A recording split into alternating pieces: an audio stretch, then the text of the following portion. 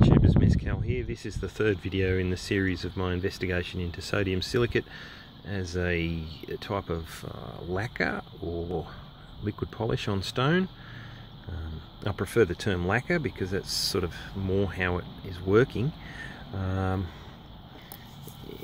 to give you an idea of what I'm trying to emulate, seen in a video on uh, Ben's channel Uncharted X where he um, shows the evidence for a liquid that has been applied to the stone boxes that have been found under um, the Serapeum at Saqqara, Egypt. And uh, I'm, I'm, I'm forming the opinion that this is what they used because it would be easy to manufacture and um, it's just the products of fire and, and silicon that can create uh, sodium silicates or potassium silicates depending on the source of the um, the donor caustic material. But um, yeah that looks wet. It's dry.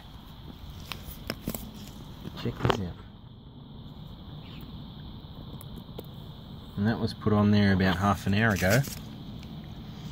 There's been three applications I think it is of straight sodium silicate on that one I'll continue to build up the layers um, and where I think uh, the most important discovery will be is in this one here vermiculite in a sock just like French polish. This is the vision I had when I watched the video. Um, and I've got a pretty good feeling that this is how they did it because you can use dilute sodium silicate. Concentrated stuff would have been harder for them to make the dilute stuff would have been easier. And how much does this look like French polishing? Like vermiculite even looks like shellac.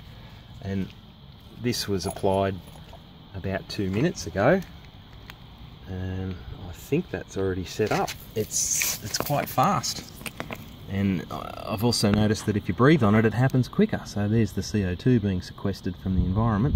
It's a little bit tacky there but it's actually dry over here. So yeah, it, it really does work.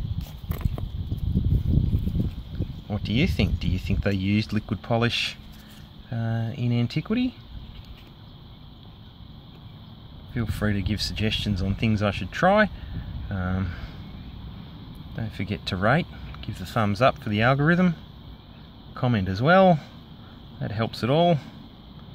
Um, share it amongst anyone that's uh, involved in the what do you call? Investigations of megalithic builders. And yeah catch you on the next one